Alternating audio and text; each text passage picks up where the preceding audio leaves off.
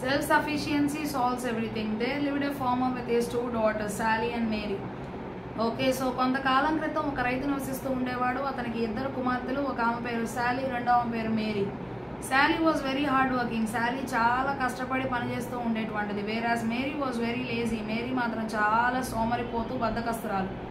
She did not do any work at home ఇంటి దగ్గర ఒక్క పని కూడా చేసేటువంటిది కాదు ఈ యొక్క Mary okay so whenever the farmer and wife asked Mary to help Sally ఎప్పుడైనా సరే ఆ యొక్క రైతు అతని యొక్క భార్య మేరీని శాలీకి సహాయం చేయమని అడిగినప్పుడు she never listen to them ఎప్పుడు కూడా వారు చెప్పినటువంటి మాట వినేటువంటిది కాదనమాట ఈ యొక్క Mary.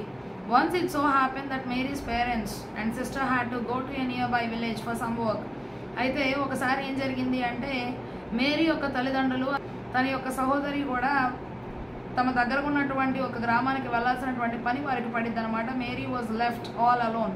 అప్పుడు మేరీ ఒక్కతే ఇంట్లో ఉండాల్సినటువంటి పరిస్థితి ఏర్పడుతుంది. ఎట్ హోమ్ ఇంటి దగ్గర ఉంటుంది అనమాట since she had never done ఎప్పుడు కూడా తన యొక్క జీవితంలో ఏ పని కూడా చేయలేదు కాబట్టి ఎనీ వర్క్ ఏ పని కూడా చేయలేదు కాబట్టి she she did not know how to cook అన్నం ఎలా వండాలి ఏది ఎలా వండాలి అనేటువంటి తనకు తెలియదు ఫీలింగ్ హంగ్రీ తనకు బాగా ఆకలేసింది. When she try to cook rice ఎప్పుడైతే తను బియ్యాన్ని వండాలి అని అనుకుందో the vessel of hot water fell a bit on her okay so ఆ యొక్క వేడి నీళ్ళు ఉన్నటువంటి పాత్రలో పాత్రలో ఉన్నటువంటి వేడి నీళ్ళు తన మీద పడినాయి అనమాట కొంచెం.